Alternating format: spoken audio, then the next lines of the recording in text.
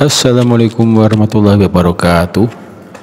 Kali ini saya akan share Cara memperbaiki water heater Yang rusak Atau minimal tidak bisa panas ya.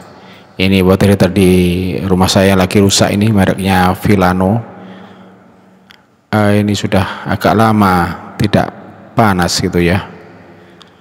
Uh, Banyak kemungkinan yang sederhana bisa baterainya habis sehingga tidak kuat mengangkat katup. Yang kedua katupnya atau selenoidnya yang rusak ya sehingga tidak bisa membuka gas. Kemudian yang ketiga modulnya.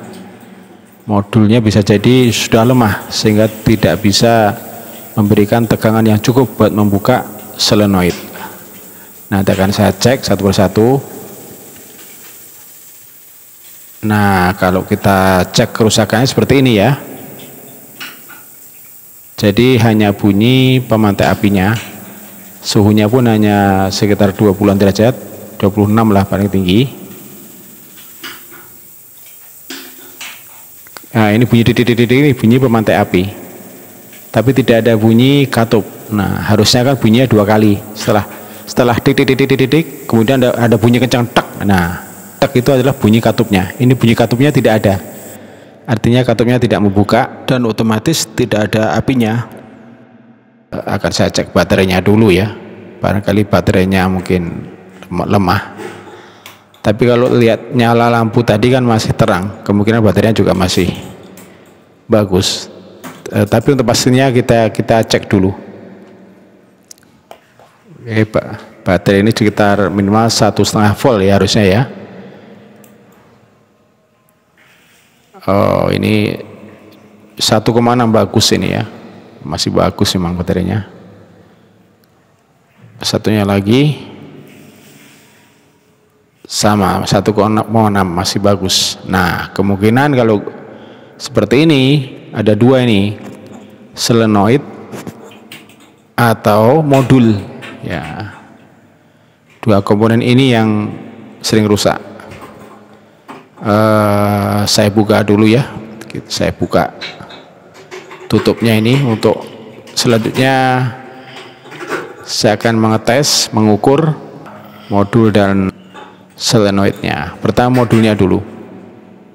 Kalau nanti modulnya normal berarti kemungkinan selenoidnya. Tapi kalau modulnya sendiri tidak normal nah ada dua kemungkinan nih. Modulnya yang rusak atau keduanya modul dan selenoid.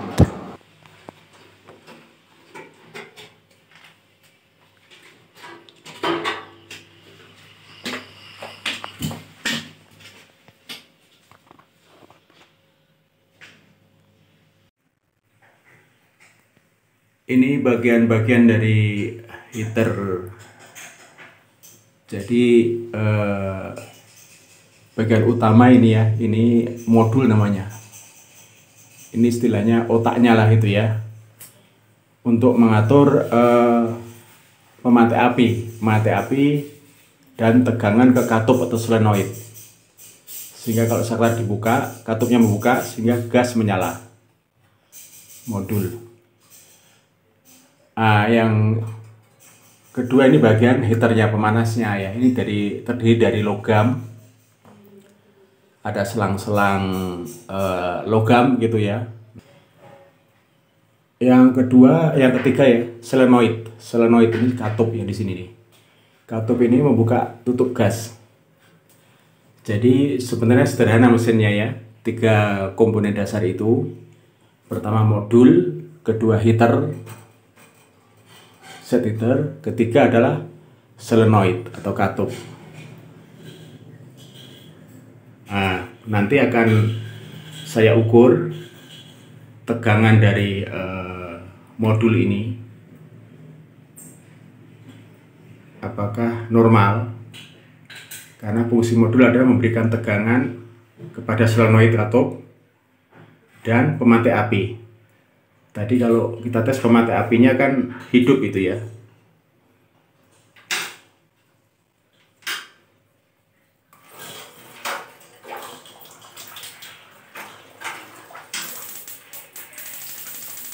Ini suara. Suara titik-titik-titik itu berarti pemantik apinya hidup. Tinggal kita cek. Nah ini katupnya tidak berfungsi. Ini kemungkinan rusaknya ada dua katupnya atau selewetnya rusak atau modulnya. Bisa jadi katupnya masih bagus tetapi modulnya uh, sudah lemah ya. Tidak menghasilkan uh, tegangan yang cukup untuk menghidupkan solenoid jadi kita cek kita cek tegangannya uh, modul normal enggak gitu.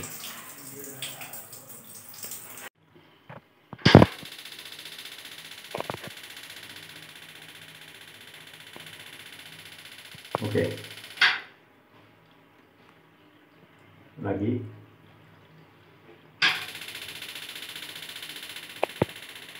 Bomnya satu.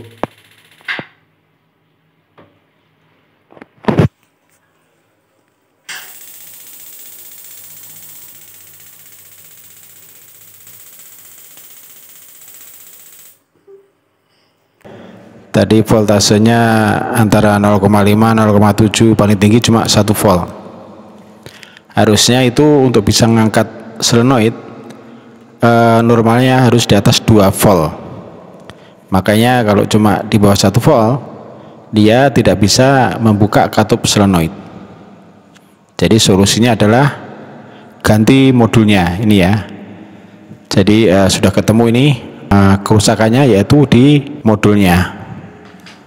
Nanti saya ganti dengan modul baru ini. Kebetulan saya punya persediaan karena memang ini yang seling rusak ya selain solenoid jadi selalu sedia dua ini modul dan uh, solenoid modul lama yang rusak saya lepas dulu.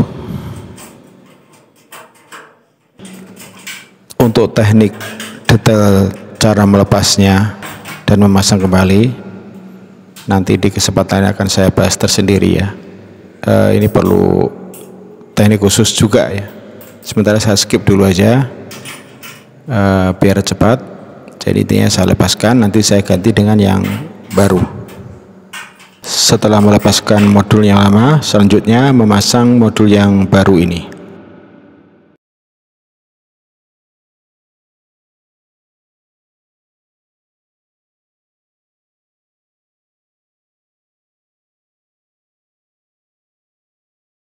saya pasang modul barunya. Untuk detailnya bagaimana memasang modul baru ini nanti akan saya bahas di kesempatan tersendiri. Karena ini butuh teknik khusus juga ya. Sementara saya skip dulu biar cepat ini.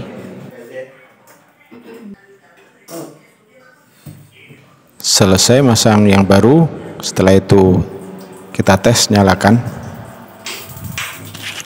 Oh, sudah nyala ya.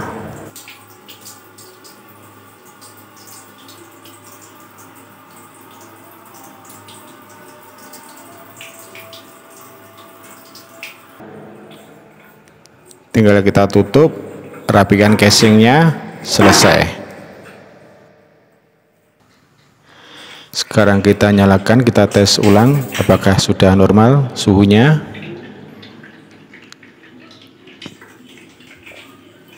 Ini sudah sudah naik di atas 30 33 34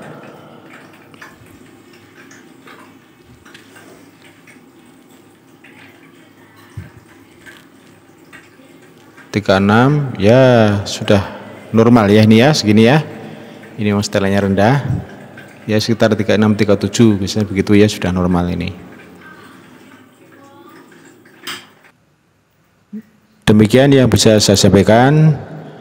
Uh, sekali lagi sebelum saya akhiri, saya rangkum prosedur untuk perbaikan water heater ini adalah pertama cek dulu ya sumber tegangan. Baterainya normal tidak? Kalau baterainya masih normal cek tegangan uh, modul. Normalnya sekitar uh, minimal 2 maksimal 3 antara 2 sampai 3 volt. Kalau kurang dari itu berarti modulnya lemah harus diganti. Kalau tegangan modulnya normal nah berarti eh, yang perlu diganti adalah eh, valve solenoid atau katip solenoid seperti ini. Nah jadi speknya eh, bagi yang punya heater seperti ini sedia saja di rumah dua alat ini ya uh, modul dan solenoid ini harganya juga murah jadi buat persediaan speknya siapa tahu nanti rusak tinggal diganti karena pengalaman dua alat inilah yang sering rusak sedangkan yang uh, komponen lain seperti termostat dan lain-lain itu relatif uh, awet ya demikian Kurang lebihnya saya mohon maaf. Assalamualaikum warahmatullahi wabarakatuh.